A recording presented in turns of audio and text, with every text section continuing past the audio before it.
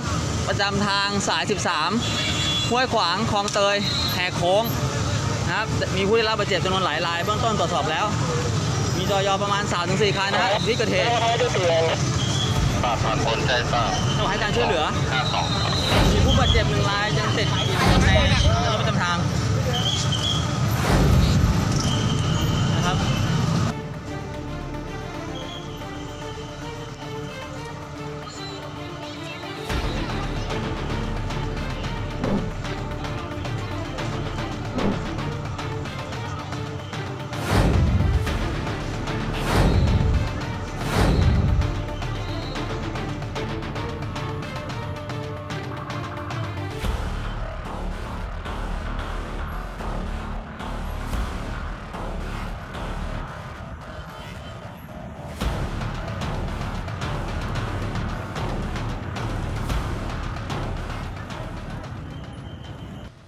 แล้วก็มองเห็นรถ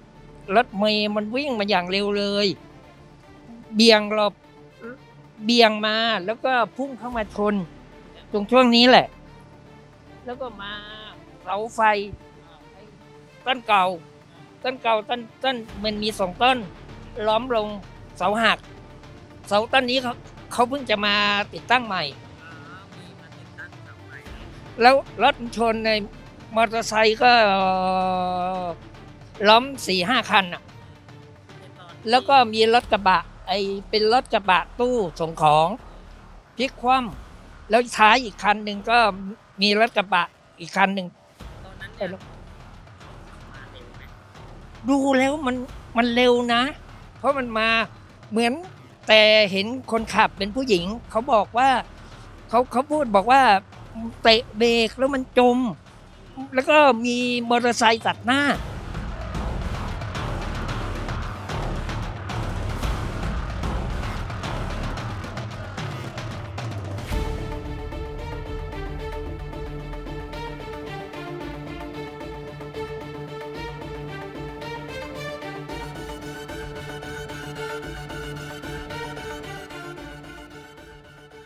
เงยหน้าเห็นน่ะรถเมย์มาแล้ว แล้วประมาณว่าเขาคือเขาชนมอไซค์แล้วมอมอไซค์กำลังล้ม